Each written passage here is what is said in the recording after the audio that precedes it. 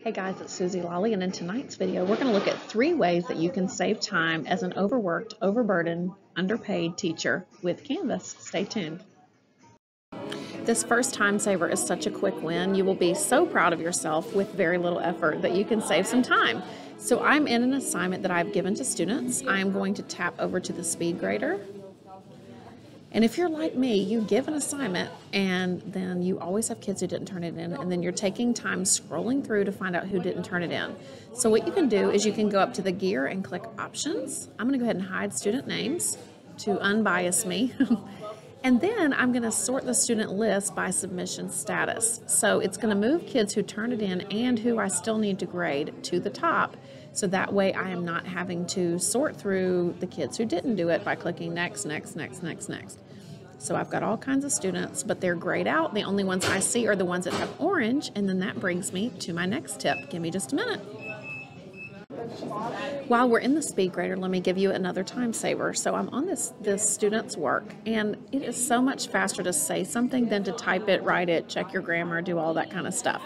So I just want to remind you or tell you for the first time if you don't know it that you can come down to the bottom and you can click either the video feedback Probably won't let me because I'm using my video right now, but let's see. There I am, straight up in the Dunkin' Donuts. So I can record a little video. Not only does that save time, but it's also giving some personality, or I can use the microphone. Now, right from here, I can turn off my webcam and just make it um, an audio recording, okay? So again, I can come right here if I want to do audio or media, or I can click right there and I can do speech to text which is if I want to um, just speak whatever and have it type it out for me. So let's try it. I am typing a comment and I want to see if it recognizes it, period. It does, smiley face. Awesome.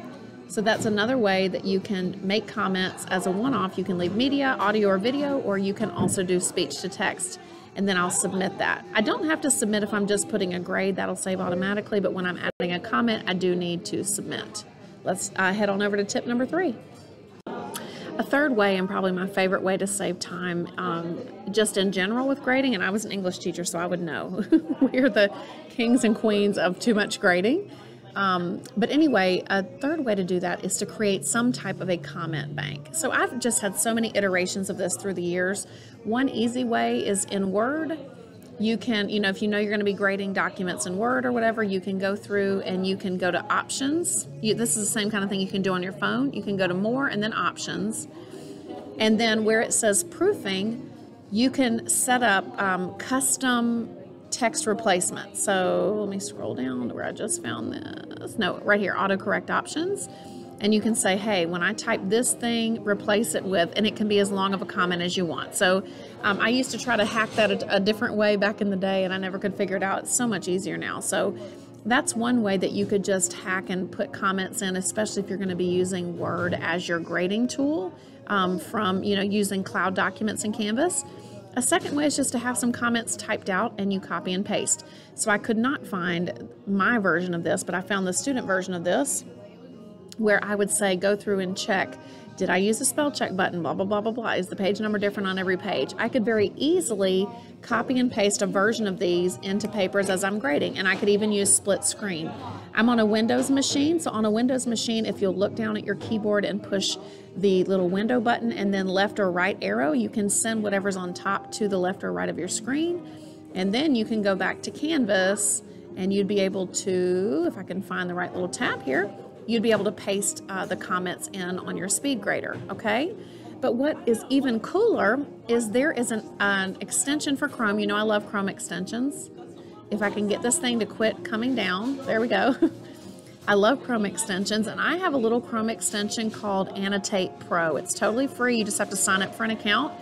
It looks like this little A, and remember, you get all your Chrome extensions by just going to Chrome Web Store and then you can search for, I don't know if it's listed as Three Trees or Annotate Pro. I think I've shown this one on another video, but Annotate Pro. Yeah, right here. And so I've already added this one. Um, but you can take Annotate Pro and create a comment bank as, as well there. And it works, it specifically says Canvas Speed Grader. So it'll, allow, it'll let you search a keyword of a comment in the moment and paste it in. So let me show you it in action.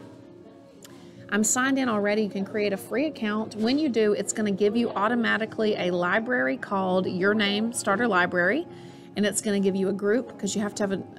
You don't even have to know all the ins and outs of this. You can teach me later. And it's going to give you a group called Suzy Lolley's group. Okay, I don't care about any of that. What I want to do is I want to be able to create comments. So I just go to New Comment. It'll ask me which library to put it in. Again, I'm picking my original one, and then I'm picking my group and then I give it a label. So the label could be something like MLA format, and then I can paste all of my comment text there. I've already done a few of these, so I'm going to pause and show you. So you can see some comments I've already made. Yes, they're quite lengthy, but you know, I just feel like sometimes kids don't even read the feedback, but I want it to be thorough if they do or if their parents do. So I used to structure, have students structure paragraphs using CDC squared. So this tells about that. Or I gave them some tips about titling something. The, and then these come blank and you can change them.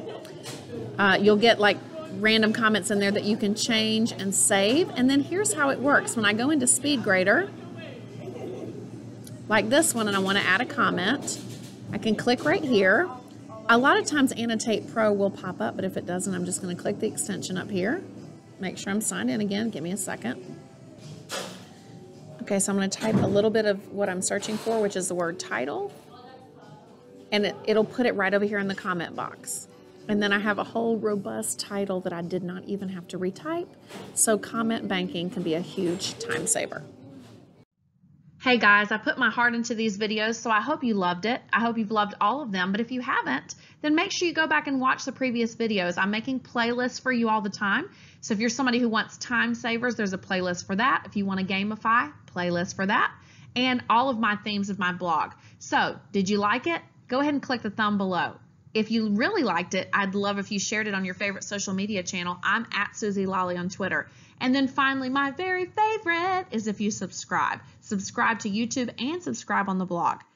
Take care.